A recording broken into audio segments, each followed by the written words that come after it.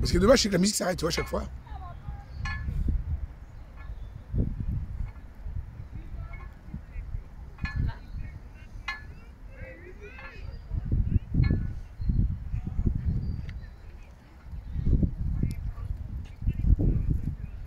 Yes.